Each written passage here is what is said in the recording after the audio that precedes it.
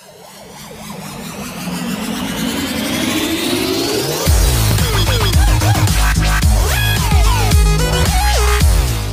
عليكم ورحمة الله وبركاته. إزيكم شباب؟ عاملين إيه؟ يا رب تكونوا بخير. آه، بسم الله الرحمن الرحيم والصلاة والسلام على أشرف المرسلين سيدنا محمد عليه أفضل الصلاة والسلام. آه، إزيكم؟ عاملين إيه؟ يا رب كلكم تكونوا بخير. آه، النهاردة إن شاء الله مع فيديو جديد. فيديو بيهم كل الناس اللي فعلت القنوات وأنا واحد منهم آه، وعملت الإجراء دهوت إن شاء الله هنعمله مع بعض. آه، في البداية إن شاء الله يا شباب لازم نعرف آه، النقرات غير الشرعية. يعني قبل أنا ما أتكلم في الموضوع لازم الناس تكون عندها تعرف إيه هي موضوع النقرات الغير شرعية اللي بتجيلها أو اللي لازم تعرفها قبل ما آه، تعمل أي حاجة. آه، إحنا اتكلمنا عليها مسبقا آه، وإن شاء الله هسيب لكم رابط الفيديو في صندوق الوصف تحت معانا غير الشرعية. اتكلمنا عليها وأنا هنسيب لكم رابط الفيديو في صندوق الوصف عشان تعرفوا إيه هي النقرات غير الشرعية وتحرصوا منها. وإن شاء الله تنفذوا الكلام دهوت عشان الأرباح بتاعتكم آه، تزيد وحسابكم يفضل في أمان إن شاء الله رب العالمين.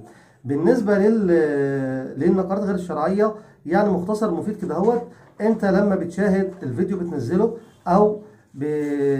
أو الفيديو بتنزله ب... بتشاهد لنفسك متاح ليك مرة واحدة على نفس الراوتر. معاك مثلا اتنين تلاتة أربعة ما يحقش اللي هم يشاهدوا ليك الفيديو بإعلاناته بالحاجة اللي بتنزل معاك كمان النقرات غير الشرعية إيه؟ اللي أنا الإعلان يبقى شغال وأدخل جوه الإعلان نفسه. يعني اكمل الإعلان الإعلان خمس ثواني ثمان ثواني تعمل تخطي.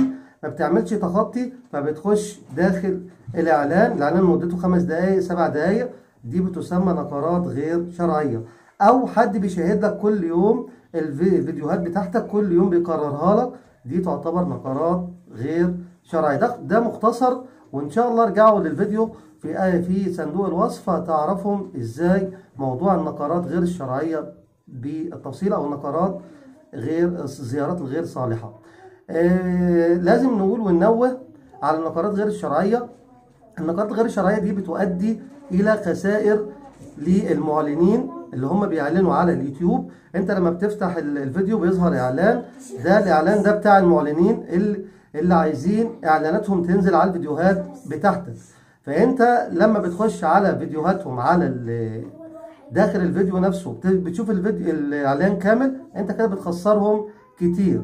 فهم طبعا آه، مش بيستفادوا من تلك النقرات آه، لأن اللي بيقوم على اللي بيقوم بالنقر على الإعلانات دهيت بشكل عشوائي مش هدفه اللي هو يدخل يزور الصفحة. يعني أنت مش داخل تزور الصفحة عشان أنت حابب الإعلان.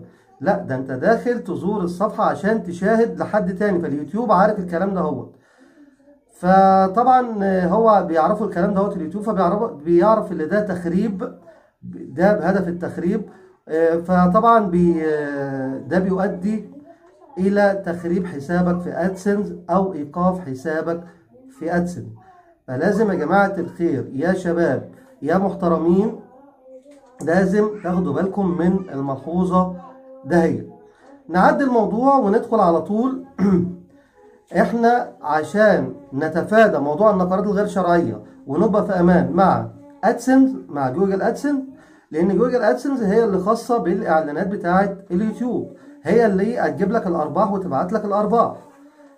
فلازم عليك إن أنت تتواصل مع جوجل ادسنس طب إحنا نتواصل مع جوجل ادسنس إزاي؟ تتواصل مع جوجل ادسنس عشان تحافظ على حسابك من الإغلاق لا قدر الله. بس يا ريت اللي إحنا إحنا هنعرف الطريقة بس ما نطولش ما لا نتواصل مع جوجل ادسنس عمال على بطال. يعني أنا كل شوية كل أسبوعين ثلاثة أو كل أسبوع أروح أعمل لهم النموذج اللي أنا هنوريه لحضراتكم وأبعته لهم. فبالتالي أنا بخليهم هم يبدأوا اللي هم يبصوا لي أو ياخدوا بالهم مني ويتفحصوا الحساب بتاعي ويرجعوا يعملوا مراجعات مستمرة بالنسبة لك. آه، وده بيؤدي اللي انت ممكن يوقفوا لك يعني بمعنى البلدي على الوحدة. فانت لو متأكد تأكد تام وانت بتعمل الإحصاءات بتاعة الفيديو بتاعتك بتشوف إحصاءات الفيديوهات وبتعمل إحصاءات على القناة وبتشوف في زيارات غير صالحة انت بتبعت لهم النموذج دهوت شهريا عشان تتفادى الموضوع دهوت وعشان يبقى حسابك إن شاء الله حساب أدسنس في أمان. طيب إيه اللي أنت ممكن تعمله علشان تقلل النقرات غير الشرعية؟ إيه اولا يعني وقبل ما نخش على النموذج لازم تعرف الملحوظات ده هي أول حاجة قلل الوحدات الإعلانية على الفيديو بتاعك. أنت الفيديو بتاعك بتنزل عليه 10 إعلانات 15 إعلان. لا ممكن تخليهم خمس إعلانات. ممكن تخلي الوحدات الإعلانية اللي أنت لما تيجي تعمل للربح اللي هي بتاعه تحقيق الربح وبيظهر لك فيها وحدات إعلانية خمس وحدات إعلانية. ممكن تخليهم ثلاث وحدات إعلانية. ما تكترش من الوحدات الإعلانية. آه كمان تاني حاجة وحاجة مهمة تأكد من مصدر الزيارات بتاعتك آه على الفيديوهات. لو لقيت لو لقيت الزيارات جاية من مواقع غير معروفة أو من موقع مجهول اعمل له block direct لأن دوت هيأذيك وهيتعبك. حتى لو بيجيب لك مشاهدات وأرباح ده هيأذيك وهيتعبك. وعشان كده إحنا بنبلغ عن الزيارات الغير صالحة وبالتالي حبايبي هنروح للشرح العملي مع بعض عشان نفهم موضوع النقرات غير الشرعية دهيت ونعمل النموذج إزاي ونرسله لدعم اليوتيوب عشان نتفادى الوقوع في المطبات دهيت. يلا بينا نروح مع بعض للنموذج بتاعنا وهو إن شاء الله نموذج مختصر بس عملي هيفهمكم إزاي تعملوه كل شهر. إخواتي اللي هم فعلوا القنوات ونزل عليهم نزل لهم الإعلانات ونزل لهم تحقيق الربح على القنوات بتاعتهم. يا رب إن شاء الله تكونوا بإذن الله موفقين ويكون الشرح دهوت إن شاء الله عملي تاخدوا منه حاجة. تساعدكم اللي أنتوا تحافظوا على قناتكم لأن العالم تعبت في القنوات جدا جدا. مش هطول على حضراتكم نروح للشرح العملي مع بعض. اتفضل. آه يلا يا شباب إحنا دلوقتي في الشرح العملي أنا سايب لكم آه هنسيب لكم النموذج رابط النموذج هنسيب لكم رابط النموذج في صندوق الوصف عشان توصلوا بسهولة وتملوا النموذج ده وترفقوه ترسلوه إلى آه مركز المساعدة بتاع أدسنس. وعشان تتجنبوا النقرات غير الصالحة. أنا هوت أول حاجة هوت ضغطت عليه وجبته. أنا هنسيب لكم الرابط أسفل الفيديو. هنسيب لكم رابط النموذج ده هوت أسفل الفيديو عشان توصلوا بكل سهولة. ده مركز المساعدة أحبائي الأعزاء. هنخش على مركز المساعدة. في نموذج أهوت هننزل نموذج جهة الاتصال للنقرات غير الصالحة.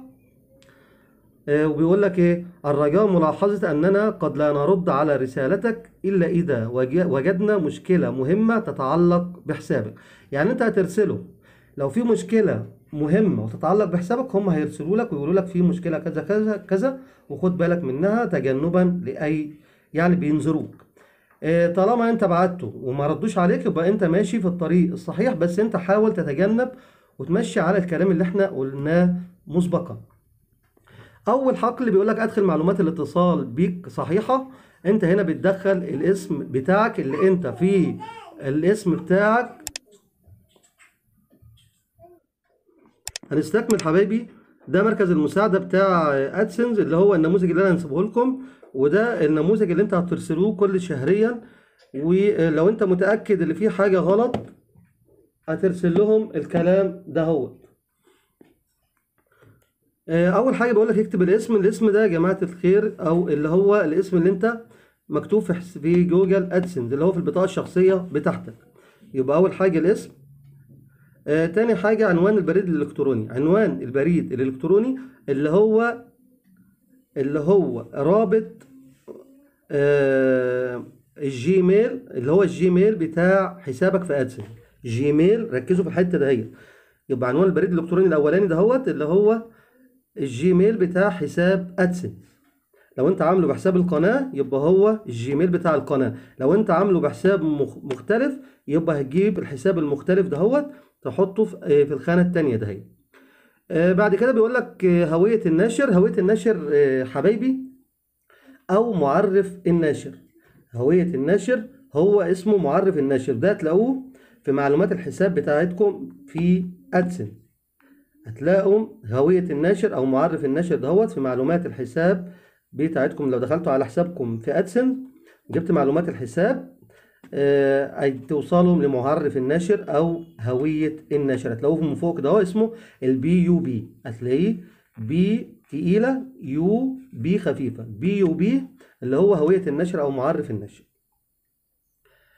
آه، بيقول لك يرجى تقديم الإجابات على أسئلة الحماية التالية. سيساعد هذا على ضمان خصوصية كل حسابات AdSense وحمايتها. آه، اللي بعد كده عنوان URL التي تظ- تظهر فيه الشفرة ده عنوان القناة بتاعك اللي هو ال Gmail بتاع القناة بتاعك أنت. تمام؟ آه، الموضوع بقى بيقول لك يرجى تجديد آه، أح... تحديد أحد الاختيارات. يرجى تحديد أحد الاختيارات بتختار أنت هو عامل لك اختيارين. بيقول لك الإبلاغ عن نشاط غير عادي في حسابك في حسابي أو التنبؤ بتغير كبير في نشاط حسابي. آه، انت ممكن تختار واحد من الاتنين دهوت اللي هو ممكن تختار اللي هو إيه اللي هو التنبؤ. أو الإبلاغ عن نشاط غير عادي في حسابك. تختار الأولانية أو التانية براحتك الاتنين زي بعض على فكرة يعني. اختار واحدة من الاتنين. يبقى ده إيه تحديد الاختيارات. هتختار اختيار من دهوت. آه بعد كده بعد كده التواريخ والكلام ده مالكمش دعوة بحته التواريخ دي سيبوها. آه بعد كده بيقول لك آه فقرة تشرح فيها من الذي آه، ما الذي جعلك تعتقد أن النشاط النقر آه، غير صالح؟ إيه اللي خلاك تعتقد إن عندك نقرات غير شرعية أو نق- أو زيارات غير صالحة؟ بتكتب له الكلمتين اللي أنا هقولهم لك كلمتين كويسين. بتقول لهم آه، مرحبا فريق دعم آه، جوجل أدسنس.